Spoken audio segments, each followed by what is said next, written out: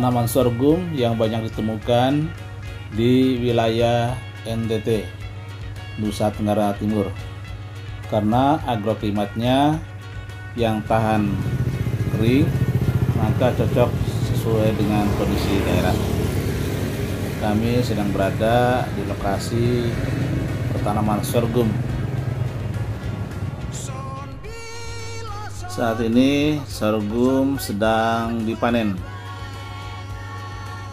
Kami pada saat sekarang ini berada di lokasi sorghum yang sedang dipanen.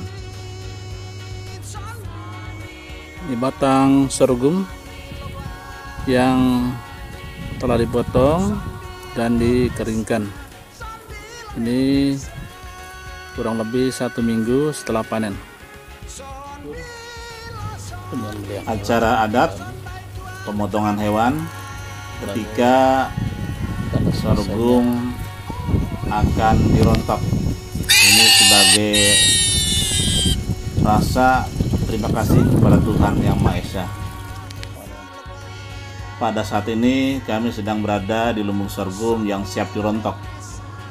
Proses perontokan secara tradisional yaitu mempergunakan pelepah lontar ataupun pelepah kelapa yang bagian ujungnya dibelah.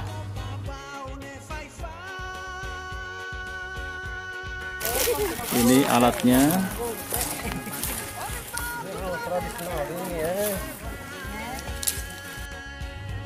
Perontokan sorghum ini dilakukan secara bersama-sama ataupun gotong royong petani yang satu membantu petani yang lainnya yang sedang berontok.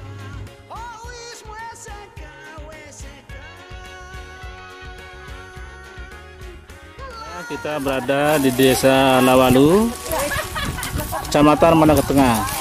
Mereka sedang melakukan perontokan sorghum secara tradisional. Lanjut Pak, lanjut Pak.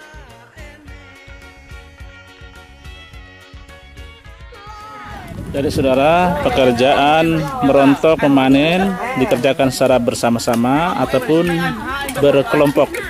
Jadi sifat gotong masyarakat di sini masih sangat kental dan masih sangat eh, tinggi.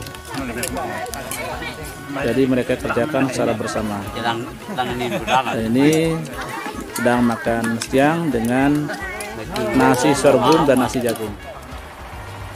Proses penyosohan biji sorghum menjadi beras sorghum.